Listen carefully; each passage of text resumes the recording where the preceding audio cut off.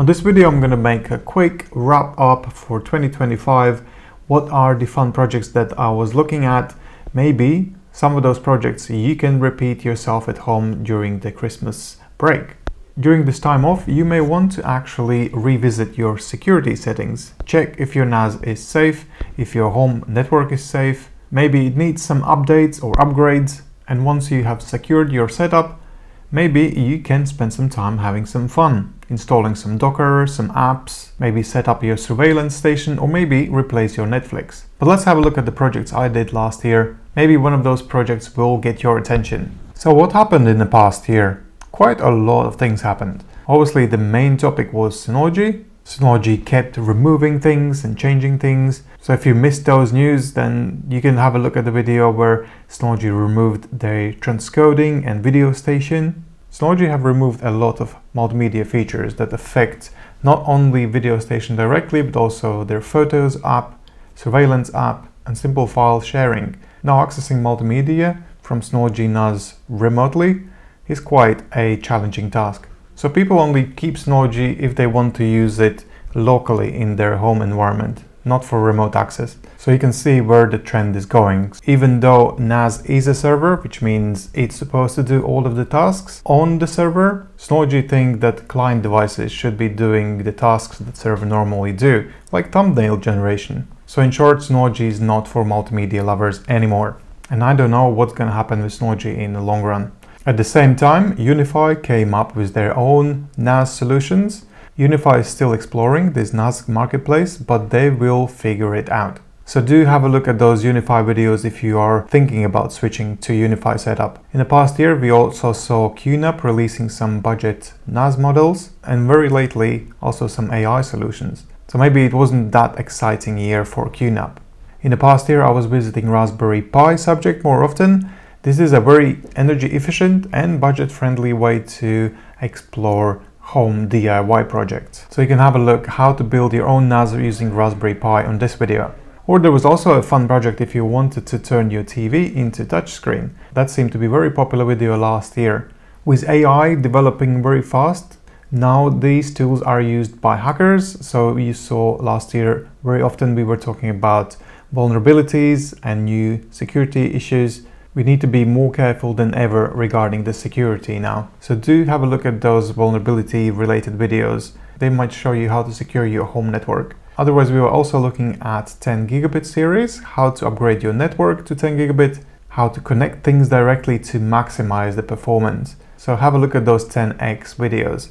I was also making NAS Top Gear series, showing you performance between those NAS brands. So if you're curious what NAS is the fastest out there, these videos will show you testing of every single angle, how the NAS can perform. We are looking at top USB speeds, top LAN speeds, top NVMe speeds, any possible bottleneck. So if you want to see those real world performance tests, do have a look. Also in past year, we saw how governments are pushing Apple and other brands in the corner they want them to share your data in a cloud. So this is one of those reasons why you should have your own NAS solution at home because you can't trust the cloud because someone is watching you. Also, Wi-Fi 7 is becoming more and more of a standard now in Wi-Fi world. So there's a lot of products released. We were visiting those subjects as well. And now with AI growing so fast, we also looked at the ways how we can make our own local AI solution by installing GPU card in the NAS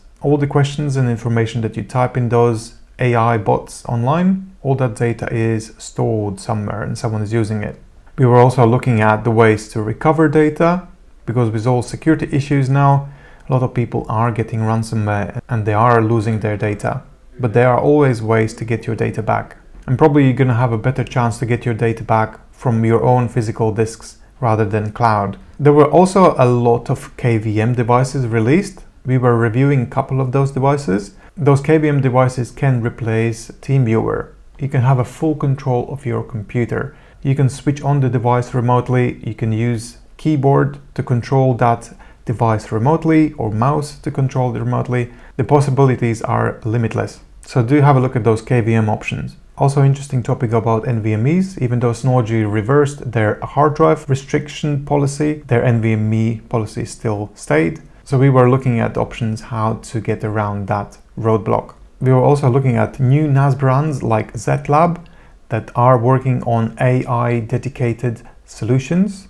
The other brand is Ugreen with AI Revolution. These devices that allow local language models and other AI models to be stored on your device will do very well soon. So if you've been considering to have your own AI agent, maybe these AI NASes are options for you. Also with Netflix subscription price going up, you may want to create your own Netflix alternative, which is Plex or maybe Jellyfin. You can achieve that with Raspberry Pi 5. You can have a look how on this video. If you own a NAS already, and if you want to upgrade it, you can have a look at this video. It's going to show you every single possible way to upgrade your NAS. Either it's RAM, NVMe cache, SSDs, every possible way to make your NAS faster or perform better. If you have already image server and you wanted to link it with a photo frame, I was visiting that subject on build your own smart frame. I will show you how to use Raspberry Pi 5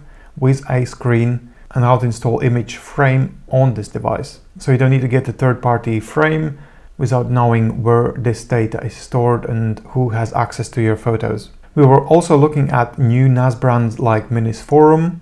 There's more and more NAS brands coming into the market now and not just NAS brands. Also the new NAS software brands like Unraid, TrueNAS, they are becoming so much better and easier to use. There's also quite a few NAS operating systems that can be installed on this hardware. So nowadays building a NAS becomes very very easy. With the security being an issue lately, we were also looking at the ways how to securely connect to your NAS remotely. So I was showing you how to install Tailscale, which is free VPN service, which allows you to connect to your NAS remotely with zero effort. And all of that can be set up in seconds. So if you want to know how, have a look at this video. And finally, we were looking at some Wi-Fi 7 routers and not just Wi-Fi 7, also how to install your VPN on your router so you don't need to deal with every single device at home or work. You install VPN on your router and every device that connects to your router have this access. And with new Wi-Fi 7 routers, you can even achieve 1 gigabit speeds, speeds that you would normally get through the wire. And I think the most fun thing you can install is Docker. Docker will allow you to install thousands of apps on your device. So in this video, I was going through the most popular apps that you can install using Docker. So do check it out. Otherwise, you can always go to nascompares.com. You can find even more videos there, more articles. So you can use your holidays to create your own fun project. Thank you for subscribing. Thank you for support on Patreon, Ko-Fi. This helps us to do what we do. So thank you very much for your support. Have a Merry, Merry Christmas and I'll see you next time.